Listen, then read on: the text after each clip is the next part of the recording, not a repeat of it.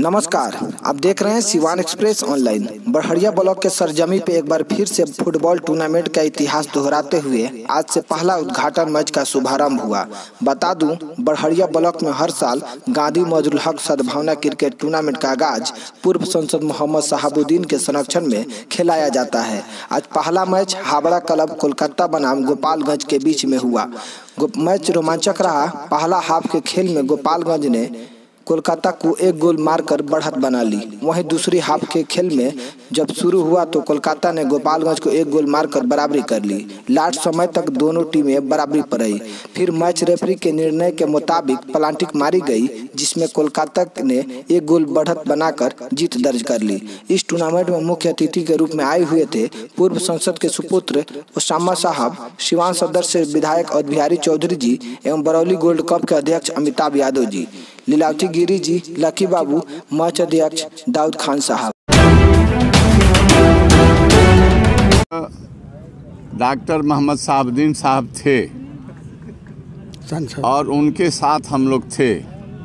वो सांसद थे उन्हीं ने इस टूर्नामेंट को चलाने के लिए स्वीकृति दिया और हम तमाम लोगों के साथ उन्होंने आगे बढ़ कर के इसमें काम किए और तब से आज तक यहाँ के जो टीम है, जो आयोजन समिति है, वह आयोजित करती है यह आयोजन।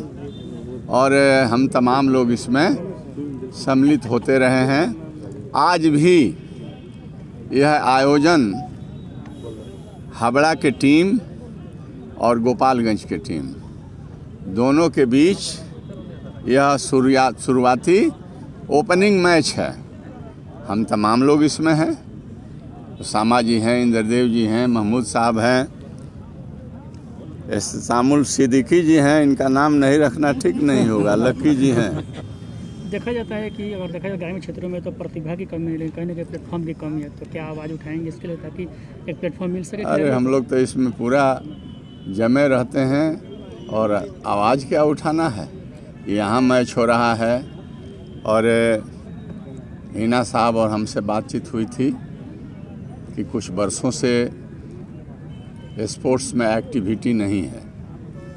इसलिए उनसे हमसे बातें हुई कि हम लोग फुटबॉल जो बड़े मतलब पसंदगी वाला यह खेल है सिवान के लिए, बड़े इंटरेस्ट लोगों को रहता है इसमें।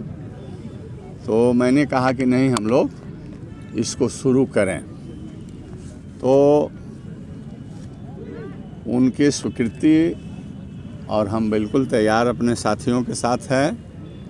और चूँकि बिहार विधानसभा का सत्र चल रहा है, उसमें भी हम लोगों की उपस्थिति आवश्यक है, इसलिए कि भिन्न भिन्न समस्याओं का निदान के लिए विधानसभा में माननीय सदस्य अपने बात को उठाते हैं। वो भी जनहित का काम है और इस जिला के ही और बिहार के ही काम है। परंतु सत्र समाप्त होने के बाद हीना जी और मैं और तमाम लोग बात करके और थोड़ा गर्मी भले ही हो जाए, लेकिन फुटबॉल टूर्नामेंट अखिल भारतीय स्तर पर हम लोग कराएँगे।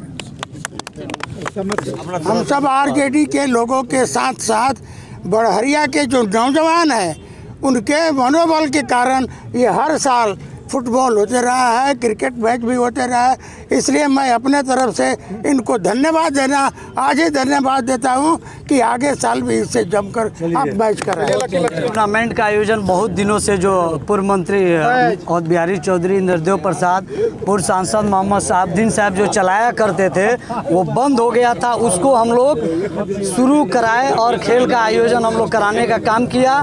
मैं तमाम बढ़हरिया के जनता को और जो दर्शक दर्शक है और जो हमारे मेहमान आए हैं सबको धन्यवाद मैं देता हूँ कि आप अपना जो है कि इसी तरह सहयोग दें हम आगे टूर्नामेंट का आयोजन करते रहेंगे खेल से फिजिकली और दिमागी दोनों तंदुरुस्त इंसान होता है और ये खेल जो है एक भाईचारा को जोड़ने का खेल है ये।